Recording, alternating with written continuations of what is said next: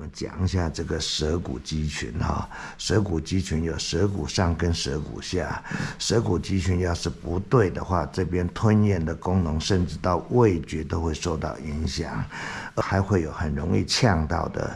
可是话说来，这些肌肉根本是不可能受伤的位置，对不对？原来是每一条肌肉出问题的地方都在它们的远端的地方出问题啊。比如说这边是胸锁乳突肌啊。这个受伤的可能性也略小，这个受伤可能性就大了哈。再下胸锁乳突肌下来以后，有一层肌肉叫做肩胛舌骨肌，肩胛骨这边是很可能受伤的，连到舌骨的这一端就不太可能出问题了。这么长的，这是一条很怪小的肌肉，叫做肩胛舌骨肌哈。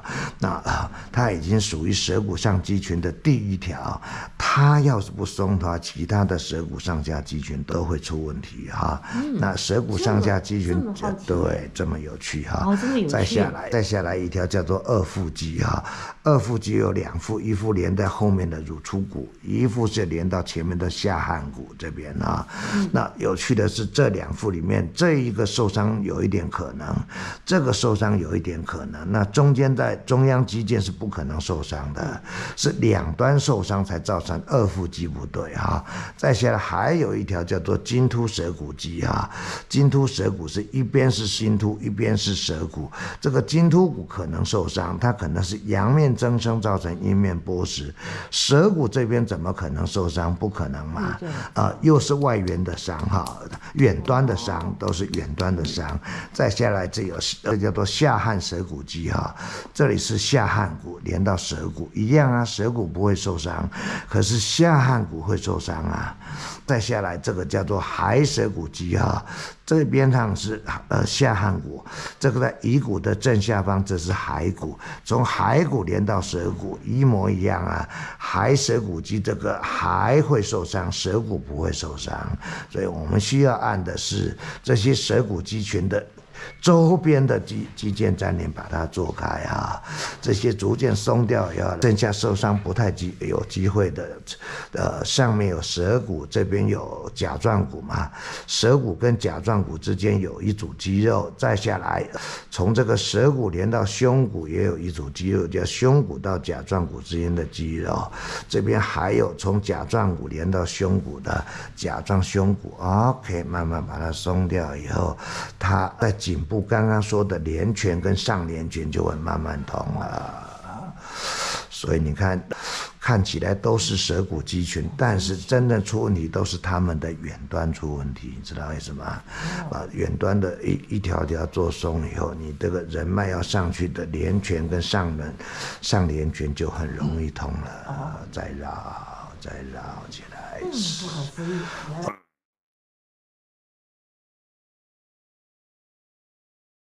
强调说右边的胆经不够通，来，现在我们再看一下右边的胆经，这里是肩颈哈，这是渊一跟折经，这是日月，这是金门带脉五腧为道居疗。到后面的环跳，再来风市中毒西阳关外曲泉阳泉阳陵泉，再来阳交外丘光明阳府这边我讲的是刚刚讲过的玄中穴超痛的，现在没那么痛一点哈。玄中要对这边的离沟，一边是胆经下，一个是肝经回，两边都刚好对应好。这个松掉以后很有趣的，它一松了之后，因为牵涉到生。肌支持带、屈肌支持带吧，所以你看看踝关节就开始呃呃，能够发挥它应有的作用了哈。这边是呃我们的坐骨神经哈啊，在大腿段是走后侧，小腿段也走后侧，可是到了脚的时候，它是两面都走。坐骨神经阳面跟阴面是连在一起的，对，哦，是，这里不对，你的脚底会麻，就是他的神经是来自于第四，对对对，四五腰椎到三三节骶骨，这边不对的话，这边会麻。那西医的基本观念就是啊，我不让你找到源头，帮你对，帮你把你这边开刀，所以多少人冤枉做了。这个呃融合手术，而且是没有垫片的那一种，造成一辈子都痛苦啊。那就算这边换了有垫片的，可是真正的问题是你要整条水路通通都得要通，了解是吗？对。以膀胱经来讲，来这是膀胱经要出来；以胃经来讲，这胃经的啊，这是解析，这是冲阳，这是陷骨，这是内庭啊。然后这是脾经要回去哈，来再来胆经下来要冲到。这边哈，这个叫做足足窍阴哈，足窍阴会对上头部的头窍阴，然后胆经这边还有一个有趣的穴位叫做足临气，足临气会对上头部的头临气。现在在按的就是头临气对这个足临气，这个头窍阴要对上这边的。足窍阴，OK，那表示它它的起点的部位跟终点的部位已经开始连通起来了。这个胆经很顺哦，同时带动的三焦经也顺起来了。OK，再走一次，于是，来人脉就越来越容易上来了。OK，再来督脉要回来也容易了。头顶的百会到上到信会，上到上心到神庭，再来，这是我常常强调的天眼，理智控制中心开了，然后再下来，这是两个攒足之间的印堂逐渐松了。啊，左眉头这边有一个疤，大概也是自己抠的，那是自我疗愈机制，各位不用太在意这些啊。再下来，穿过鼻子、呃皮间的束疗，再来心脏急救的任中或者叫水沟，再来这个上唇尖端的对端，然后接到上牙龈舌系带上面的银胶，OK，这样子任度就几乎要接接通了。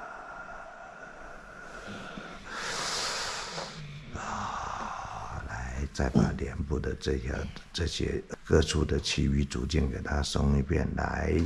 最近我常常会讲到这一条，叫做上汗动脉。为什么这边都紧哦，对啊，这一阵子好多人都开始面。它也是这块对，是啊，是啊啊。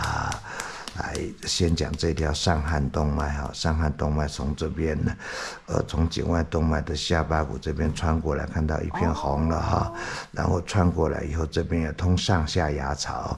如果这边的伤害已经有有被压迫，你上下牙槽的动脉就开始就供血管供应不良嘛，你的牙周就开始生病了，了解吗？所以牙周病其实根本问题是循环不好的问题，而不是牙菌斑的问题哈。好，这边上来的上汗动脉，在这边有往颞骨方向走的，这边叫做颞浅静脉哈，看到吗？整个都红起来了，颞浅静脉。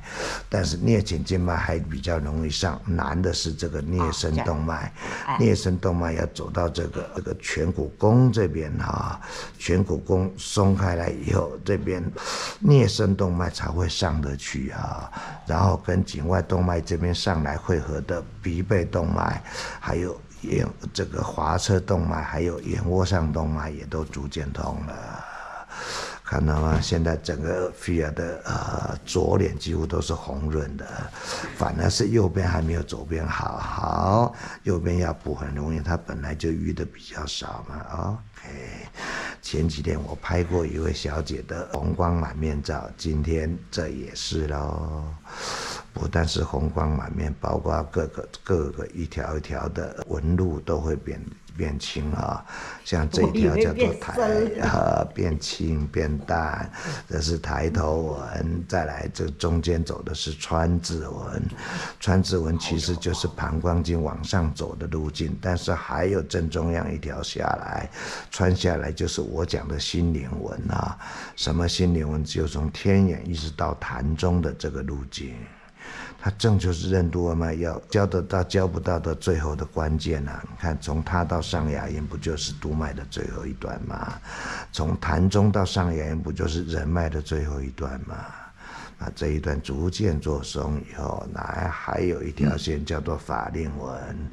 法令纹是从这个眼鼻之间这个接到嘴角切下来，还要切到哪里？切到这个气色。多少人我在做气色的时候出现那个灵魂出窍的情形啊？来，所以说这个气色不只是呼吸的那个气，还有生气的气啊。灵魂的欲也会语在这里，OK，剩下最后一条叫做什么纹？叫做自在纹啊，它就是笑肌嘛。如果你深部的颊肌都没有问题了，只剩下比较表层的笑肌，那个嘴角就会很自然的就开放出来了。每次我讲到这里，故意爱耍一个什么？人生有很多呃什么，不想笑勉强笑，呃，或者是想笑不敢笑，皮笑肉不笑，对，皮笑肉不笑，或者是呃想哭不敢哭，或者是不想哭还勉强哭，那那可以叫做皮哭肉不哭嘛？好，这些勉强通通都把它拿掉，人就大自在起来了。不但整个的脸部循环变好了，各条纹路变浅了，还有大脑发出来的十二对脑神经，我们也走一遍哈。这是一嗅觉神经，一嗅二视视神经没有那么容易哈，它是从这个颅内里面穿出来的。一嗅二视三动眼，动眼神经倒是容易来，自己眼睛动上下左右走，绕来绕去不一定要张开来哈，呃，眼珠子上下左右到处乱漂移哈。一嗅二十三动眼，四滑滑车神经在哪里？就是眼内角这边往上走的，这边还有滑车动脉，还有滑车神经，还有滑车静脉哈。这边做开来的话，你看额头上就一片红光了。四滑五叉六外展，这是眼睛的外展肌，就是让你很 g a 的可以看到左右各九十度的，所谓用眼睛的余光偷偷看到我这样子哈。这边有外展肌，有外展神经所支配，马上结束了六外展，再来七颜颜面神经，你可以做进各种表情啊，什么龇牙咧嘴啊、狮子吼啊都可以啊，都是颜面神经情绪表达七情六欲的。七言八听，第八对神经叫做味听神经，要进内耳的哈，它会影响到你的。耳瓜跟前庭跟三半规管啊，OK，七言八听九舌咽，舌咽神经对味觉有影响哈。再来第十对是迷走神经哈，从嘴巴一路进到食道到到胃，到包括它的辅助器官的肝啊胆啊，后面的。呃，胰脏啊，这边的脾呀，有小肠啊，呃，有十二肠、直肠、空肠、回肠，有结肠的这边的阑尾，还有盲肠，在升结肠、横结肠、降结肠，再到乙状结肠到直肠，都是迷走神经在管的哈。迷腹再来腹神经管的是这边两条的肌肉，斜方肌跟。一组叫做舌下神经，通了就是连圈跟上连圈啊。十二对脑神经，我们整个走一遍了，